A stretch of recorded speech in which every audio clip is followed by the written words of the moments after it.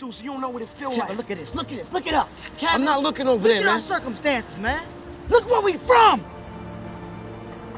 I'm tired of this, man.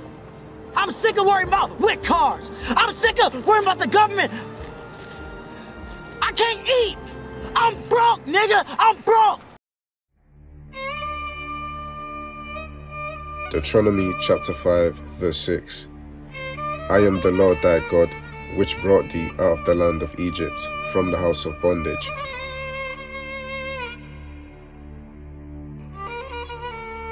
Deuteronomy 28, verse 68 And the Lord shall bring thee into Egypt again with ships, by the way whereof I spake unto thee.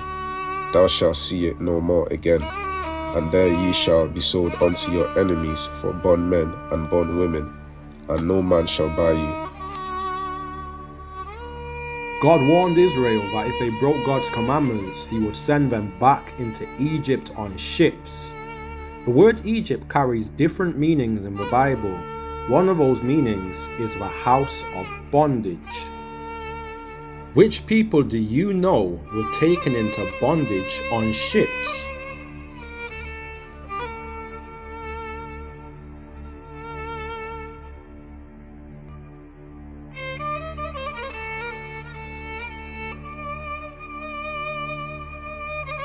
Deuteronomy 28, verse 48. Therefore shalt thou serve thine enemies, which the Lord shall send against thee, in hunger, and in thirst, and in nakedness, and in want of all things, and he shall put a yoke of iron upon thy neck, until he have destroyed thee.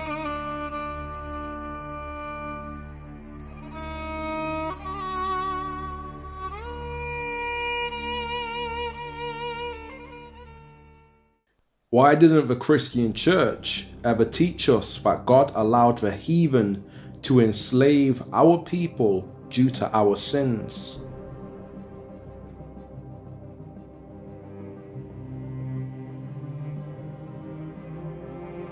In Deuteronomy 28, verse 48, Yah prophesied that Hebrews would become reliant upon other races for all of our needs.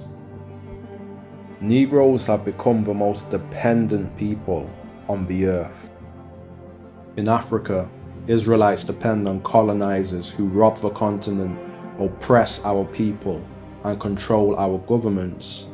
In the other lands that Hebrews have been scattered to, Negroes do not own any major international banks, businesses, brands, airlines, hospitals, technology companies, etc. We don't even own the companies that produce our hair products and skin creams. Do you see how low in society we have become? Our disobedience to God's law has come with a punishment of making us rely on races that despise us to supply our needs. We are the only race of people on earth that are perpetually in this condition. This is how we know that we are God's true Israelite children.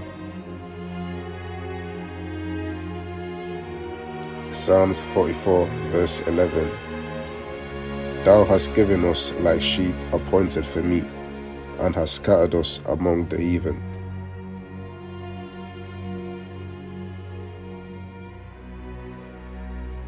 Deuteronomy 28, verse 65. And among these nations shalt thou find no ease, neither shall the sole of thy foot have rest, but the Lord shall give thee there a trembling heart, a failing of eyes, and a sorrow of mind. And thy life shall hang in doubt before thee, and thou shalt fear day and night, and shall have none assurance of thy life. Do you see how these other nations batter and beat down our people? The Most High prophesied in the scripture that among these nations that we've been scattered to, we wouldn't find any ease. Our lives have not been easy, they've been full of hardship. We're like sheep among wolves in this world, and when they devour us, no one even cares. We suffer without deliverance, and that's why we need to understand only the Most High is the solution to what we endure.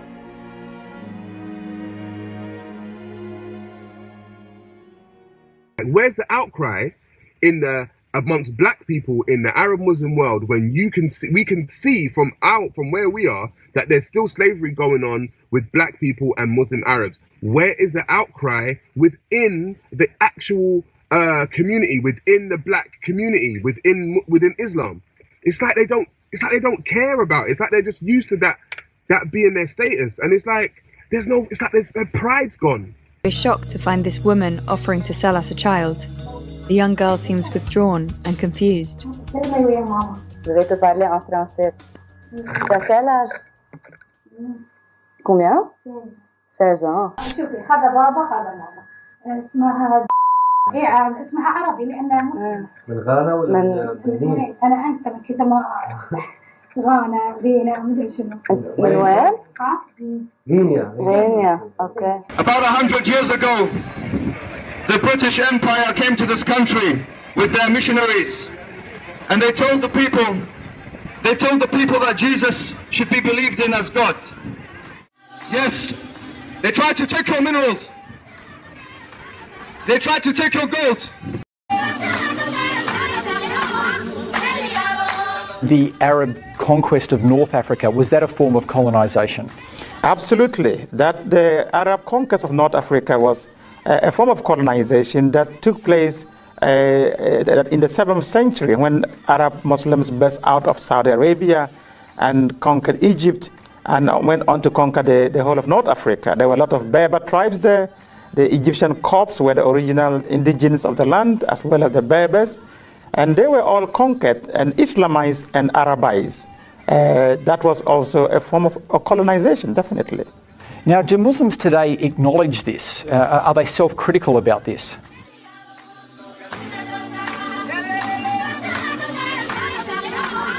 Now, do Muslims today acknowledge this? Uh, are they self critical about this? Now, do Muslims today acknowledge this? Uh, are they self critical about this? Now, do Muslims today acknowledge this? Uh, are they self critical about this?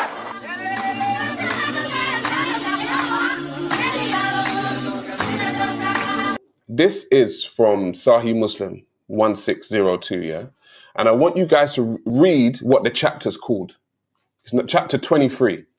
It says the permissibility of selling animals for animals of the same kind and of different quality. Yeah. So this chapter is about selling animals. Yeah. Mm-hmm. There came a slave and pledged his allegiance to Allah's apostle, which is Muhammad. Mm-hmm. On migration, the Holy Prophet did not know that he was a slave. And then there came his master and demanded him back. Whereupon Allah's apostle said, Sell him to me.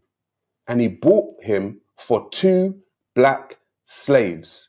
And after he did, and he did not afterwards take allegiance from anyone until he asked him whether he was a slave or a free man. Now the prophet, mm-hmm. their prophet, mm-hmm. has now bought this other man mm-hmm. For two black slaves. So he's got two black ones, and this guy's like, ah, okay, take this one. He's like, all right, I'll get two black one. But look at the chapter, bro. It's permissibility for selling animals, brother. So they come right. Can I? So who? So so who's so who's the animal? Can can, can the two black men are? Can can So yeah, one of our Nigerian brothers that's going to address an issue that's you know been coming up for a while now. Is when you have a lot of African people going to Arab countries to work, they're suffering. They're suffering a lot in these places, and the brother wanted to just kind of address some of that. Let's go ahead and roll that. You know, this is the point that you guys need to understand. You can label Africans, you can demonize us, you can deny your own tendency to be evil. You can deny your Arab supremacy because you have it. You can deny all these things and pretend like it doesn't exist, like you're not racist. But the truth is, African lives don't matter in Arab countries, and that is a fact. That's the most inhumane society where any African can live. Go and verify, check online. In some African countries, in Kuwait and some other Arab countries, in Kuwait and some other Arab countries, they, they publicize merchandising black Africans as slaves. There are applications that you can install on your phone, and through the application, you can buy black Africans as slaves in many Arab countries. Many Arab countries. Go and verify. So you can label us criminals, you can say all these things and pretend and deny and fool yourself. You are racist, you are inhumane, there is nothing godly about you. Muslims, like their Western Christian counterparts centuries later, regarded the enslavement of black Africans as a blessing in disguise to the victims. Black slaves, it was believed, were fortunate in that they were spared the barbarities of their own kind, and even more so because they were destined to be introduced to the religion and civilized values of Islam, with the black used as an example of simplicity and piety. Blacks generally are unfavorably depicted in medieval Islamic literature and arts as savages, in adventure literature, demonized in fairy tales or commonly referred to as lazy, stupid, evil smelling, and lecherous slaves writing on the image of blacks in Turkish folklore. P.N. Boratav points out that the Negro is nothing more or less than the symbol of wickedness and barbarism.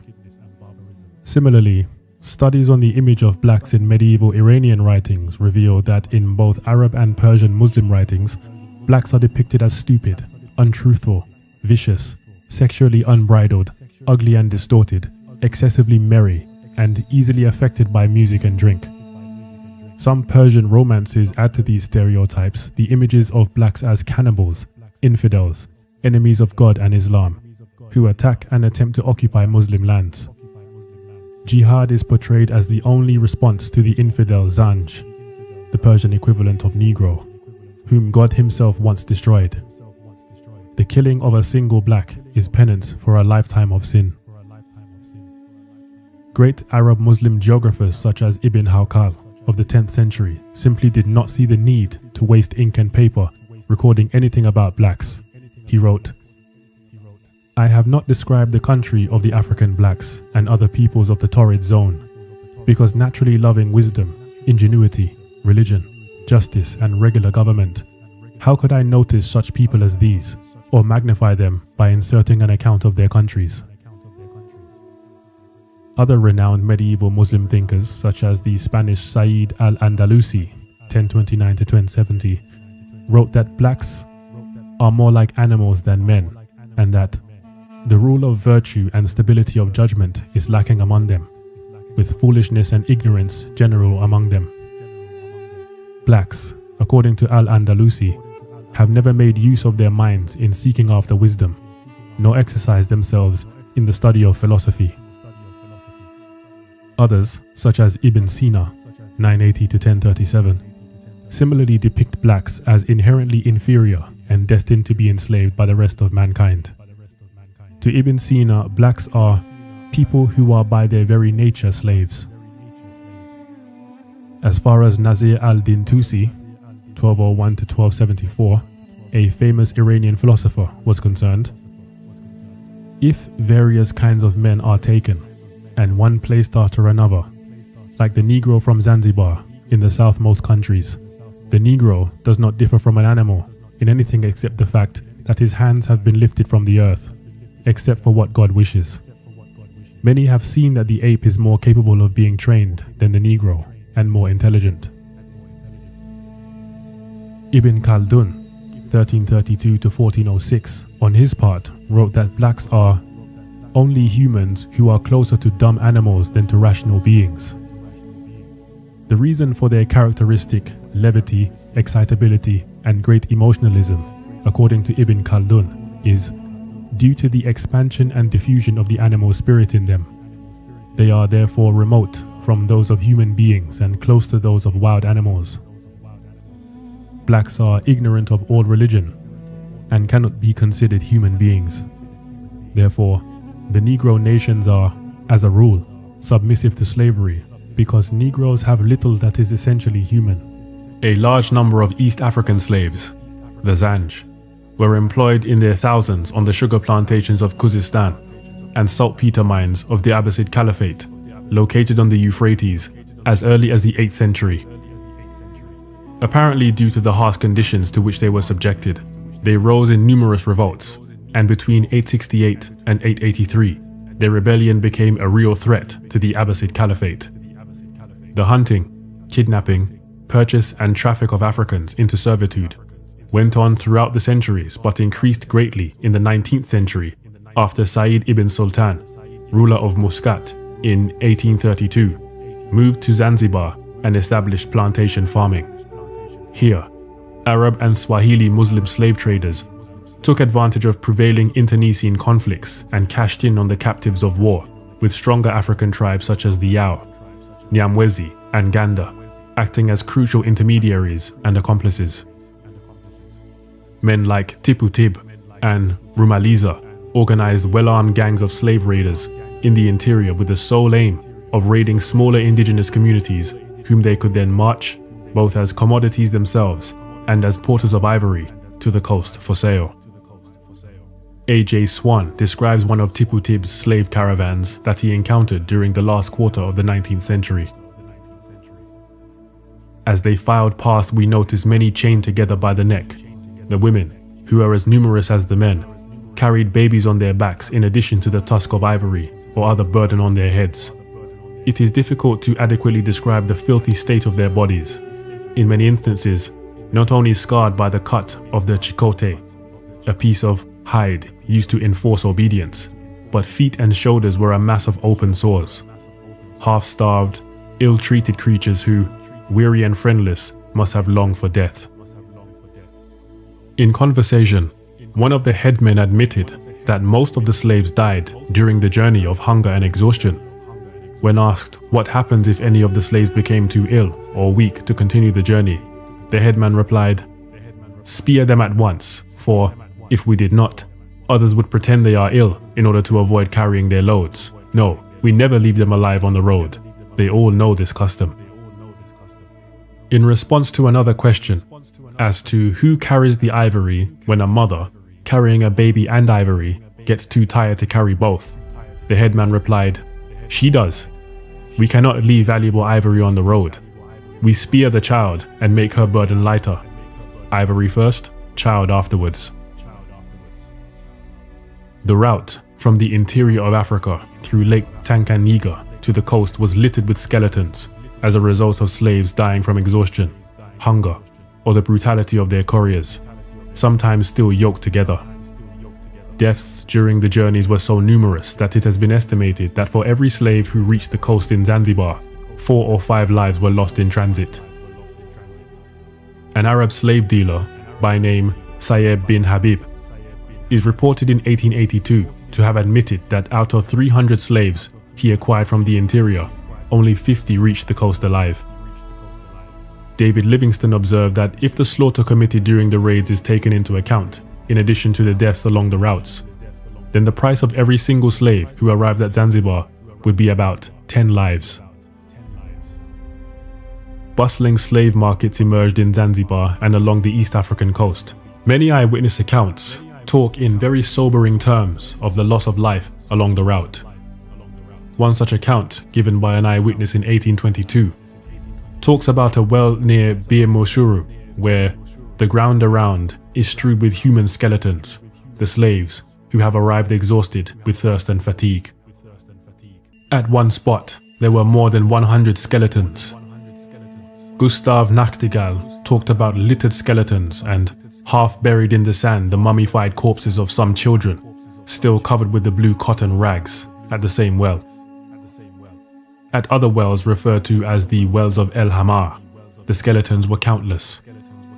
The route itself was equally littered with skeletons accumulated at the rate of 80 and 90 a day. According to one Major Denham, the Arabs laughed heartily at my expression of horror and said they are only blacks, Nambu, damn their fathers, and began knocking their limbs about with the butt end of their firelock saying, this was a woman, this was a youngster. The methods of killing exhausted or sick slaves and those who attempted to escape in East Africa were also used on the Trans Saharan route. Nachtigal accompanied a caravan of hundreds of slaves from Bagrimi to the slave markets of Kuka and witnessed exhausted and sick slaves being slaughtered and their arteries cut open. A French observer estimated that the price for one slave sold in the slave markets of North Africa might represent the loss of 10 others who were killed in the raids or died in transit. Apart from this significantly high loss of life during the raids and the journey into servitude, conservative estimates suggest that between 11 and 14 million Africans were transported into Muslim lands outside tropical Africa over the past 14 centuries.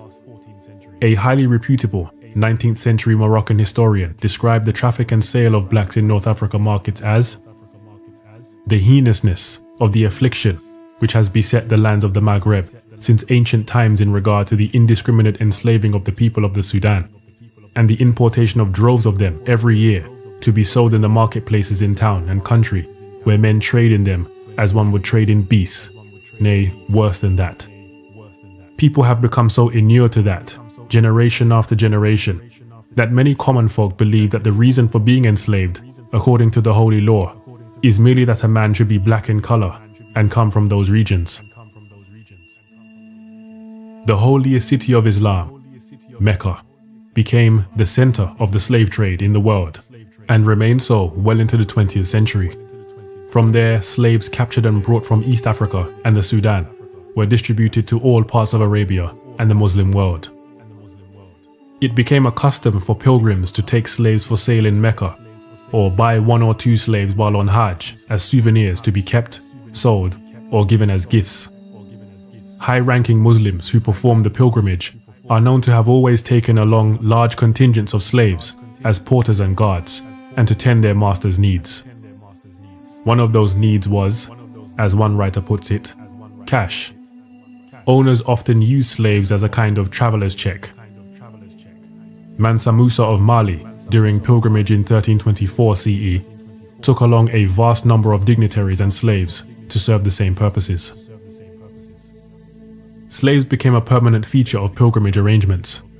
Many unsuspecting free people were taken on pilgrimage, sold, or arrested on trumped up charges, and ultimately ended up as slaves.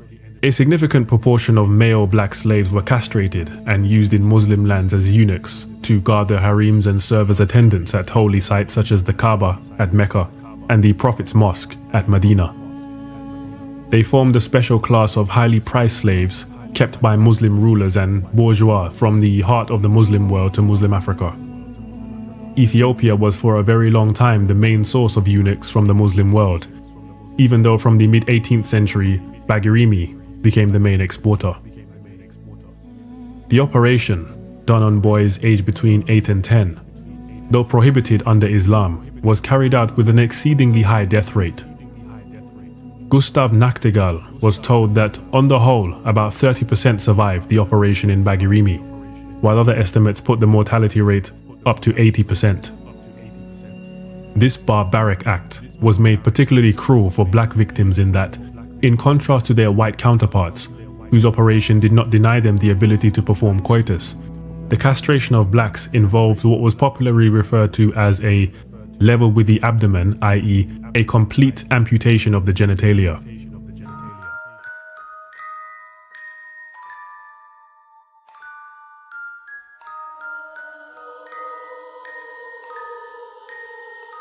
Deuteronomy 28, verse 36 The Lord shall bring thee and thy king, which thou shalt set over thee, unto a nation which neither thou nor thy fathers have known and there shalt thou serve other gods, wood and stone.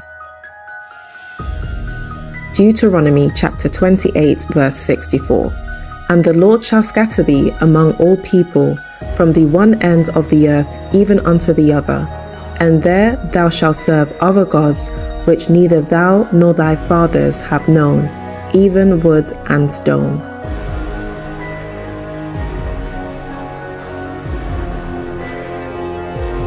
Psalm 106, verse 35. But they were mingled among the heathen and learned their works. And they served their idols, which were a snare unto them. The Most High Yah exiled us from the promised land because we refused to keep his commands. Israel has turned to the idolatrous religions of our enemies. The Muslims and Christians enslaved and hated our people. Yet black people follow Christian denominations founded by slave masters to this day. Negroes bow down in prayer to Mecca, a place where their ancestors were sold as slaves to Arab Muslims who saw them as black dogs and sex slaves. The Catholic and Christian Church grips our people in a chokehold with its satanic rituals and idolatry. They have perverted the holy faith and spiritually enslaved our people with their satanic white Jesus. They corrupted and distorted the holy path.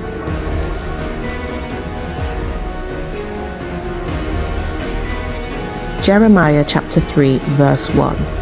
They say, If a man put away his wife, and she go from him, and become another man's, shall he return unto her again? Shall not the land be greatly polluted? But thou hast played the harlot with many lovers, yet return again to me, saith the Lord.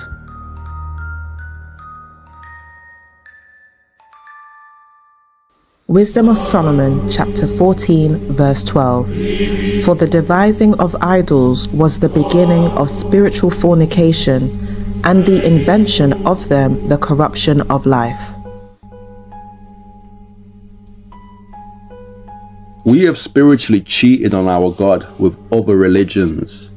Therefore, he's forsaken our nation like a husband who has divorced an adulterous wife. Jeremiah chapter 3, verses 20 to 23.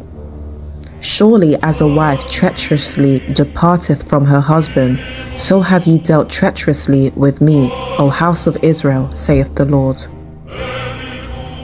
A voice was heard upon the high places, weeping and supplications of the children of Israel, for they have perverted their way, and they have forgotten the Lord their God. Return, ye backsliding children, and I will heal your backslidings, before we come unto thee, for thou art the Lord our God. Truly in vain is salvation hoped for from the hills, and from the multitude of mountains. Truly in the Lord our God is the salvation of Israel. Even though we've been unfaithful to our God, He is still calling us home to his love and mercy. There is no help or salvation for a black people in the idols of the Gentiles. Come back to Yah and his new covenant law.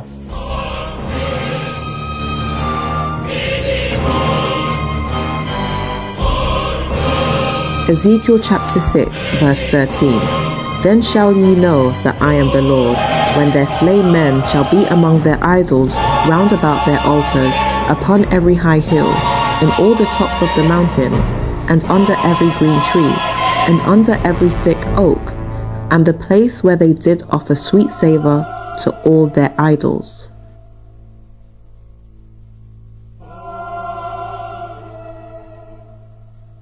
Jeremiah chapter 2, verse 28. But where are thy gods that thou hast made thee? Let them arise, if they can save thee in the time of thy trouble. For according to the number of thy cities are thy gods, O Judah.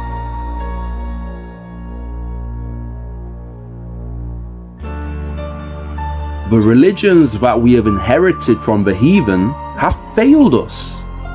Islam, Catholicism, Judaism, Pentecostalism, the Protestant Church, the Evangelical Church, the Orthodox Church, Jehovah's Witness, Mormonism, New Age spiritualism, and traditional religions have not delivered our people.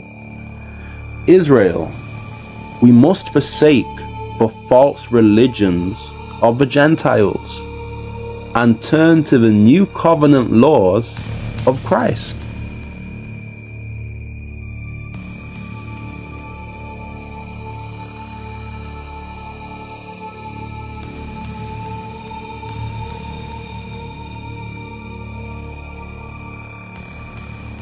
Deuteronomy chapter 4, verse 27 to 30. And the Lord shall scatter you among the nations, and ye shall be left few in number among the heathen, whither the Lord shall lead you. And there ye shall serve gods, the work of men's hands, wood and stone, which neither see, nor hear, nor eat, nor smell.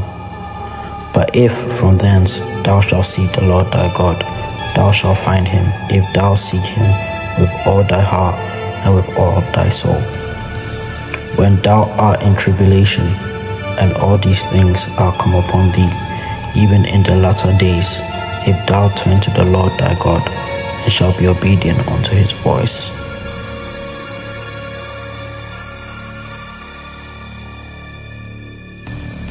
Exodus chapter 7, verse 16 And thou shalt say unto him, The Lord God of the Hebrews hath sent me unto thee, saying, Let my people go, that they may serve me in the wilderness.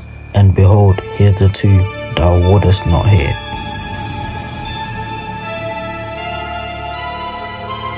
We are Hebrews, not Gentiles. Hebrews are to serve the God of the Hebrews, not the man made gods of the Gentiles. It's time for our scattered people to separate from these idols and obediently seek Yahuwah Elohim.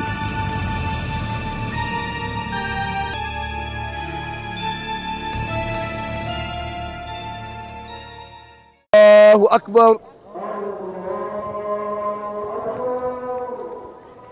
وإن تبدوا ما في أنفسكم أو توفوه يحاسبكم به الله. ولا تهملنا ما لا طاقة لنا به. واعف عنا واغفر لنا. الله أكبر. الله أكبر.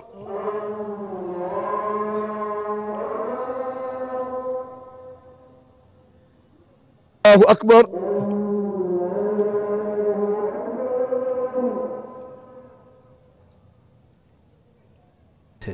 in Buddhist history, a practice that spans over 2600 years ago.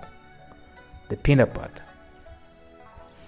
Pindapat is an ancient Buddhist tradition which harks back to the times of the Buddha himself.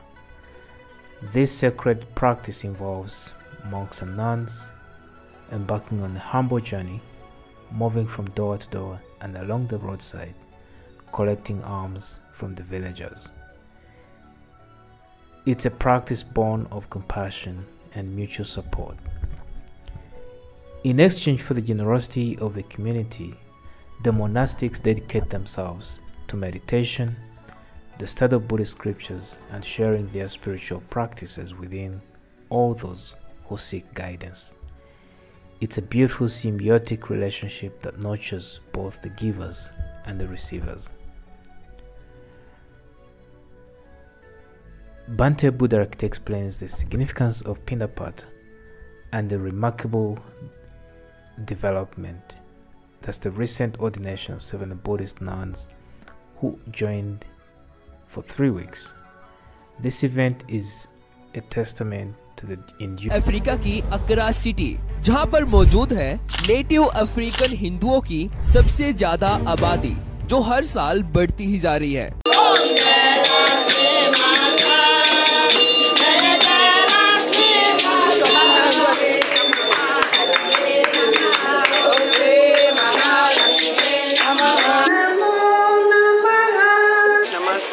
अच्छा है बेटा नमस्ते भाई कैसे हो आप African Hindu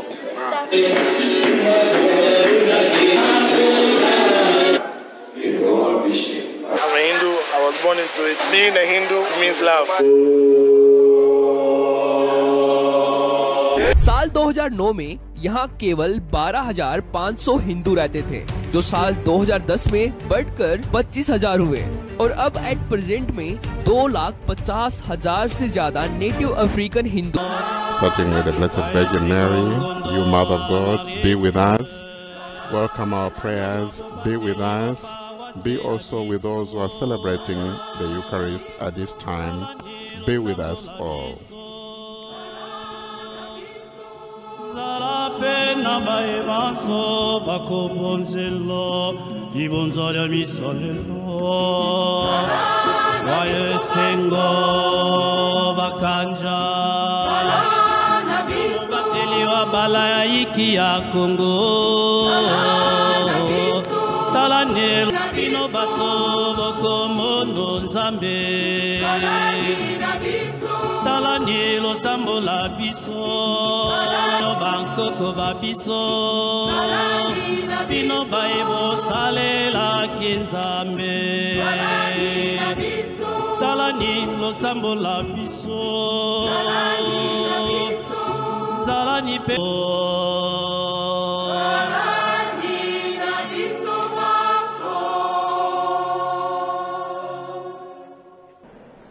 Vi benedica Dio Onnipotente, Padre, Figlio e Spirito Santo.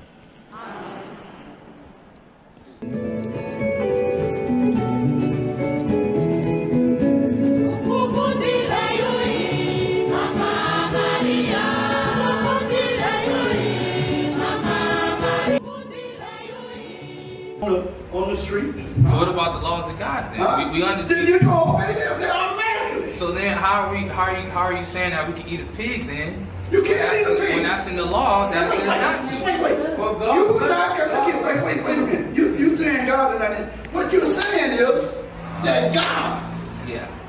huh, is not in control. The Day of the Dead festival in Port-au-Prince, Haiti's capital. Voodoo practitioners here dressed in white and painted their faces to represent spirits called Gede, which means the dead.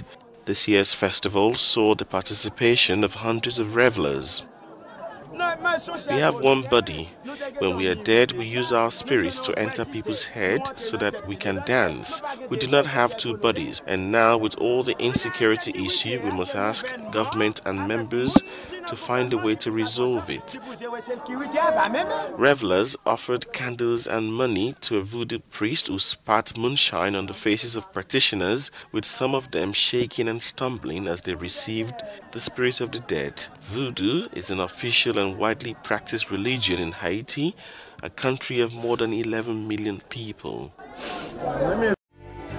I'm in western Nigeria, the heart of the Yoruban people, where every summer thousands of people gather in this sacred grove in the town of Oshogbo. With 100 million worshippers, this is one of the world's 10 largest religions. We pray with singing, we pray with bells, we pray with dancing and having fun. Carried to the New World by slaves, the faith is experiencing a renaissance among their descendants. Although we left Africa, Africa never left us. But when they come back here, what will they find? And what will they feel? I'm scared, I'm excited, I'm overwhelmed, but I'm here.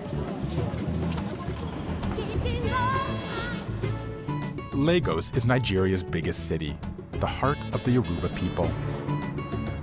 Alafia Stewart and Oni Yebie Hinton are Americans in Africa for the first time. Raised in the Orisha tradition, they're here to be initiated as priestesses. The initiation will last three days and involve prayer, head shaving, and animal sacrifice. New blessings. When my hair was cut, it was symbolizing all of the negative that's happened before going away so that everything that's new will grow stronger, be more blessed, and have more ashe. The final part of the ritual is a public celebration.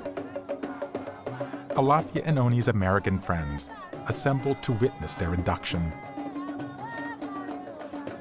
As in many religions around the world, the holiest moments of Orisha worship pay homage to the gods with animal sacrifice.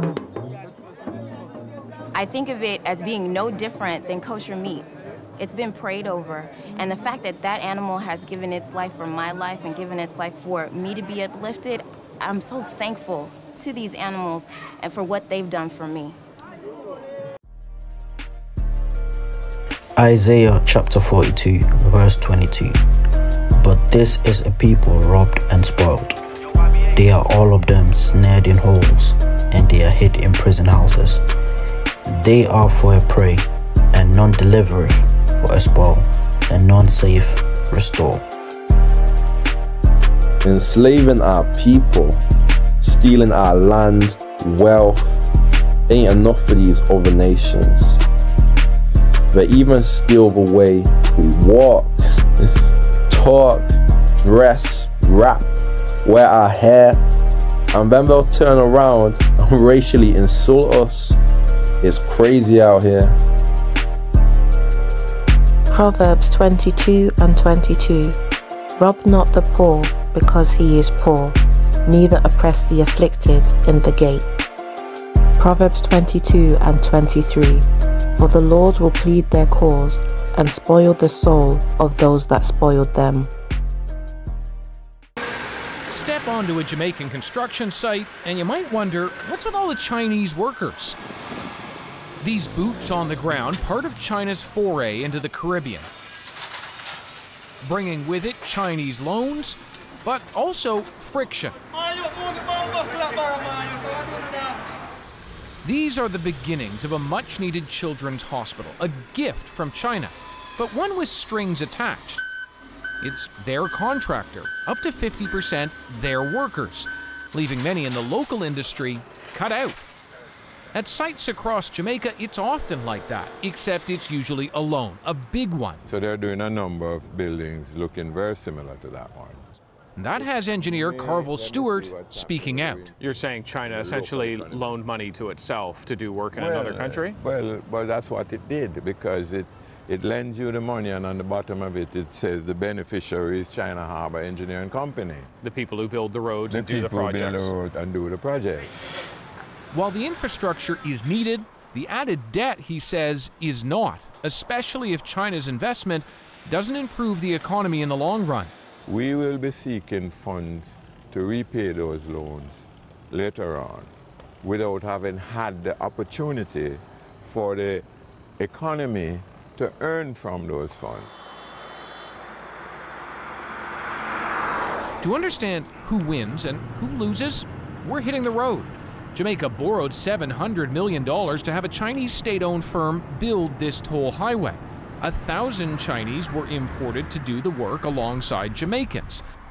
It's also the first pillar we see of China's strategic plan. According to the South African government's land audit report, farmland and agricultural holdings make up 91% of the total land in South Africa. 2.6% of the land is categorized as urban. 65% of South Africa's population lives on urban land.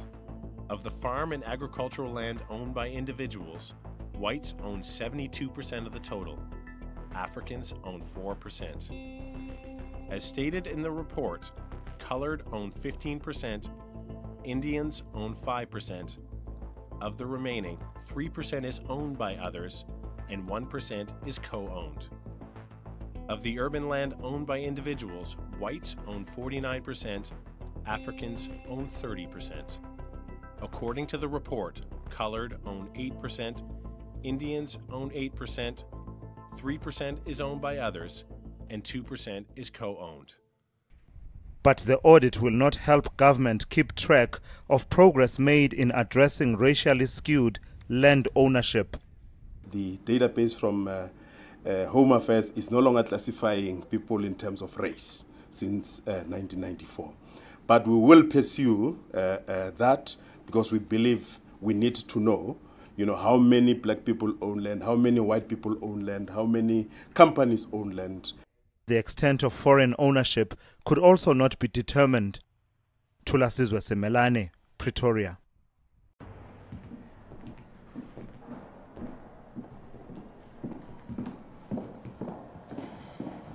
Good morning. How can I help you? I was just checking out these artifacts. They tell me you're the expert. Ah, you could say that. They're beautiful. Where's this one from? The Bobo Ashanti tribe, present day Ghana, 19th century. For real? And what about this one? That one's from the Edo people of Benin, 16th century. Now, tell me about this one. Also from Benin, 7th century. Fula tribe, I believe. Nah. I beg your pardon. It was taken by British soldiers in Benin, but it's from Wakanda, and it's made out of vibranium. Don't trip. I'm gonna take it off your hands for you. These items aren't for sale. How do you think your ancestors got these? You think they paid a fair price? Or did they take it like they took everything else? All the people of the world spoil and plunder our nation. No one stops them from colonizing our lands, taking our resources, and appropriating our culture. No one cares to plead our cause. We may protest and march, but our voices are ignored and change never comes. Yah has promised to plead on our behalf, and Yah has promised to spoil those that have robbed us. Cry out to Yahuwah in your frustration, Israel, for the justice of our nation comes from Him alone. Let people serve thee, and nations bow down to thee. Be Lord over thy brethren, and let thy mother's sons bow down to thee. Cursed be every one that curses thee, and blessed be he that blesses thee. For the day of the Lord is near upon all the heathen. As thou hast done, it shall be done unto thee. Thy reward shall return upon thy own head. For as ye have drunk upon my holy mountain, so shall all the heathens drink continually. Yea, they shall drink, and they shall swallow down, and they shall be as though they had not been. But upon Mount Zion shall be deliverance, and there shall be holiness, and the house of Jacob shall possess their possessions. Our destiny is to break these chains of oppression and overcome our oppressors. Yah has decreed that all nations shall serve our people.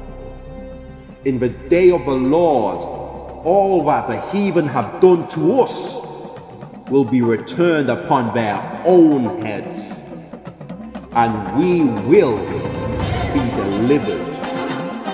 Hallelujah.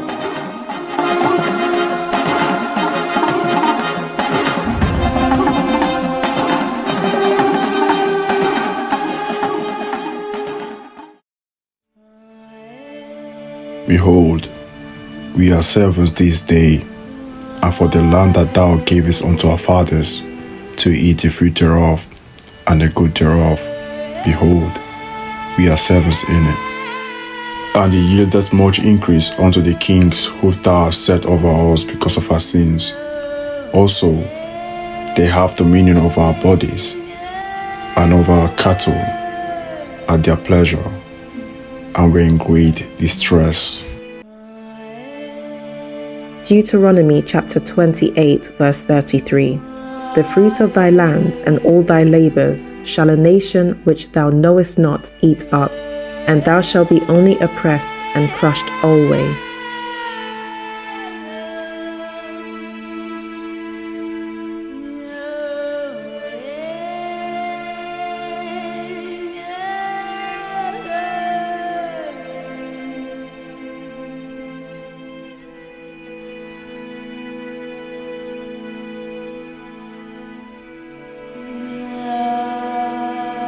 Ecclesiastes chapter 7, verse 7 Surely oppression maketh a wise man mad, and a gift destroyeth the heart.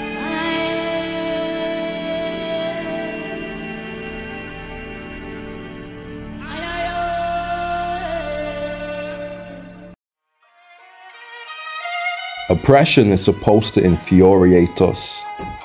Oppression is supposed to make us zealous in seeking Yah's judgments upon the heathen that devour our people. Black people have become complacent with oppression.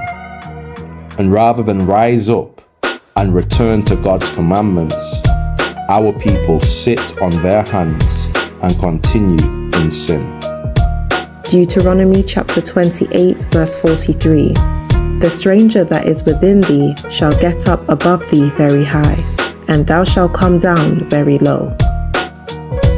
44 He shall lend to thee, and thou shalt not lend to him.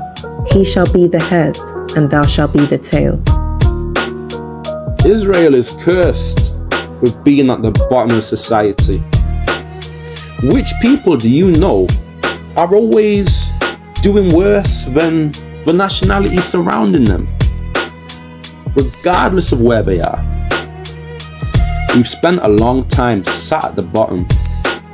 When will we take hold of God's laws and covenant and rise up? Proverbs chapter 22, verse 7 The rich ruleth over the poor, and the borrower is servant to the lender. Lamentations chapter 1, verse 5 Her adversaries are the chief, her enemies prosper, for the Lord hath afflicted her for the multitude of her transgressions. Her children are gone into captivity before the enemy.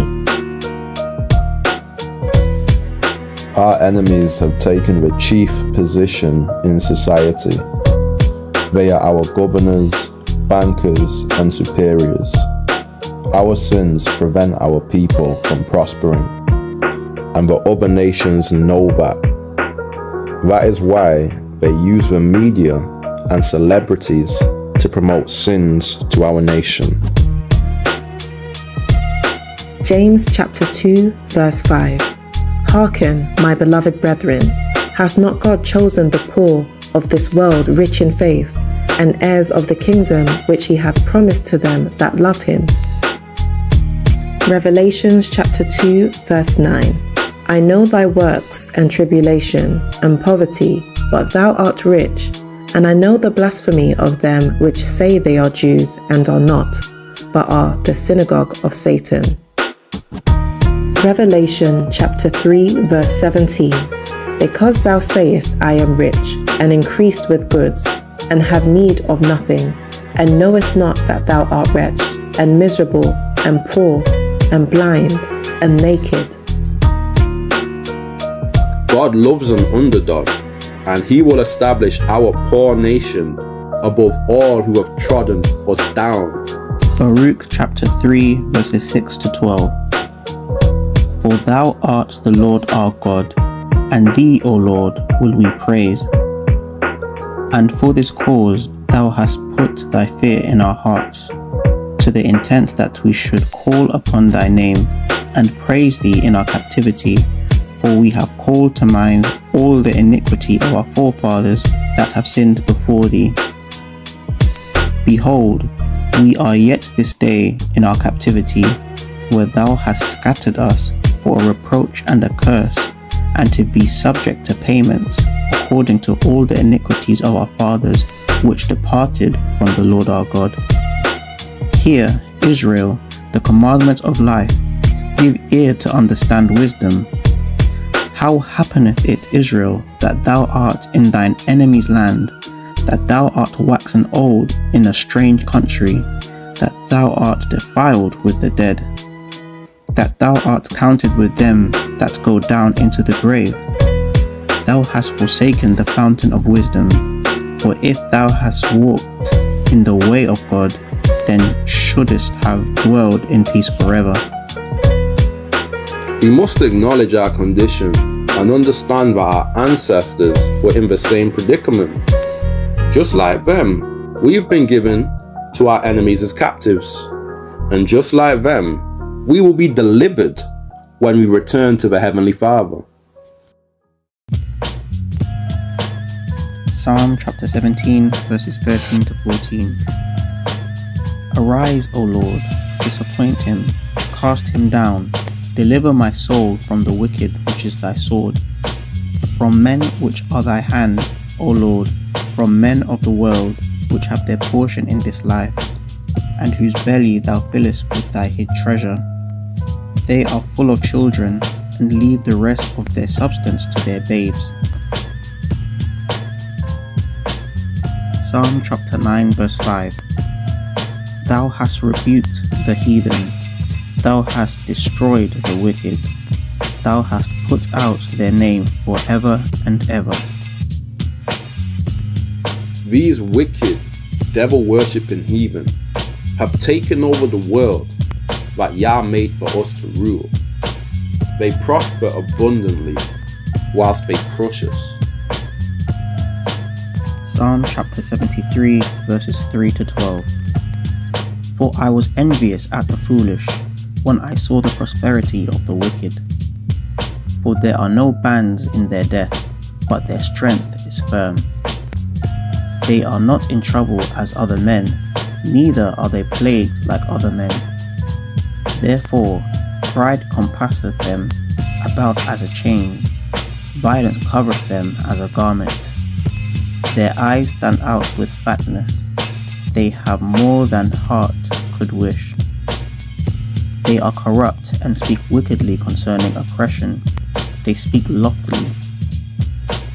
They set their mouth against the heavens, and their tongue walketh through the earth. Therefore his people return hither, and waters of a full cup are wrung out to them.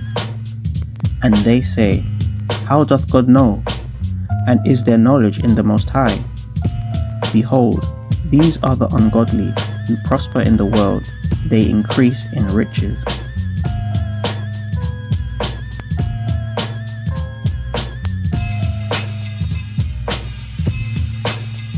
We forfeited rulership of the earth when we broke our covenant with God.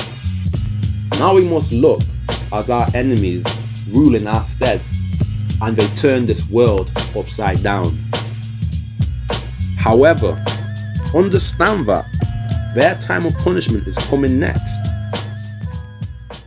Jeremiah chapter 30, verses 8 to 11. At that time I will break the yoke off their necks and remove their shackles. Foreigners will no longer enslave them, declares the Lord of heavenly forces. They will serve the Lord their God and the King whom I will raise up for them from David's family. So don't be afraid, my servant Jacob, declares the Lord. Don't lose hope, Israel.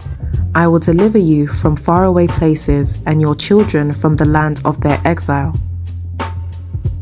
My people Jacob will again be safe and sound, with no one harassing them.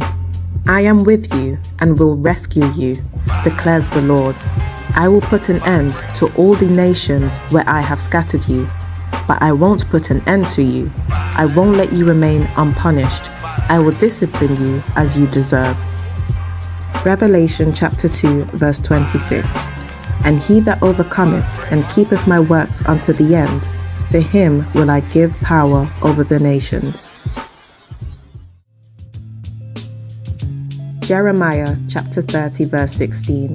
Yet all who ravage you will be ravaged, all who oppress you will go into exile, those who rob you will be robbed, and all who plunder you will be plundered. Yeshua the Savior is coming back to break the chains of the neck of Israel.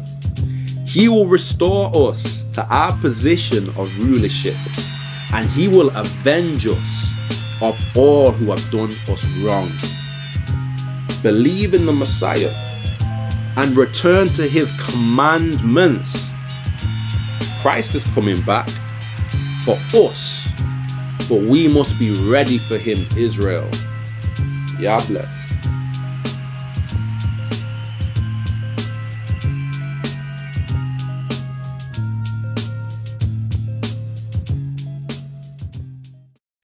Now, let me say something right quick. I think back on the African, African American people in America. I think how that they were taken against their wills put in the belly of ships, brought over here, beat, cussed. Many of them died in the guts of those ships, thrown overboard. They were pulled from families over there. You ain't never heard a gut wrenching song. Do you hear a black person sing one of those old black Negro spirituals? Nobody knows. I can't sing it like that, see, because I hadn't experienced what they be. When you've experienced hell, it comes out of the voice. I said, when you experience hell, it comes out of the voice. If you're one of those people that you got problem with black people or whatever, you better shut your mouth because they're God's people. You better hear what I'm saying to you. You better shut your you better shut your white mouth.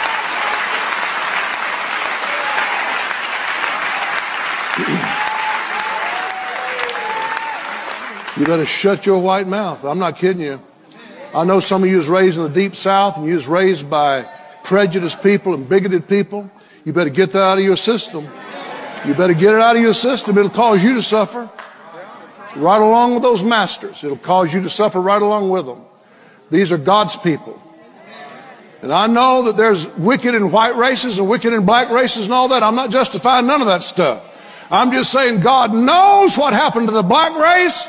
He knows how they wound up over here. And God is going to re- reimburse the black people for all their trouble and all their labor. You watch what I tell you. Watch what I tell you.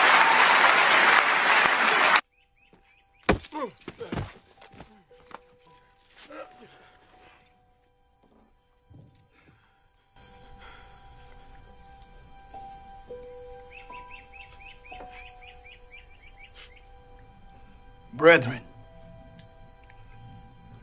I pray you sing to the Lord a new song.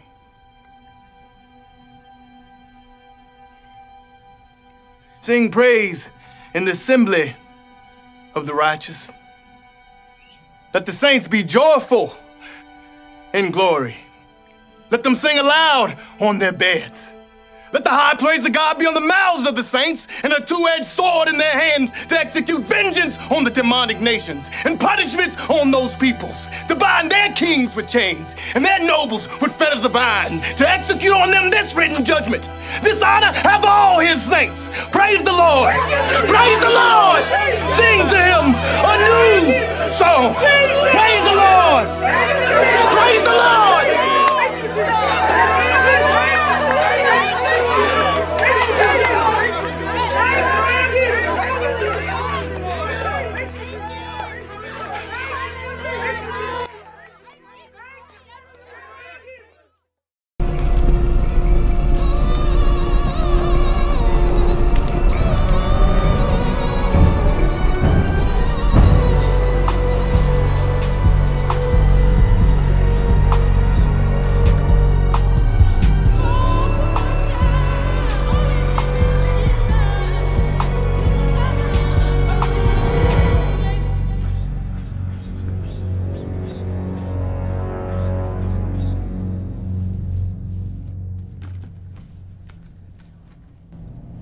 You know where I'm from.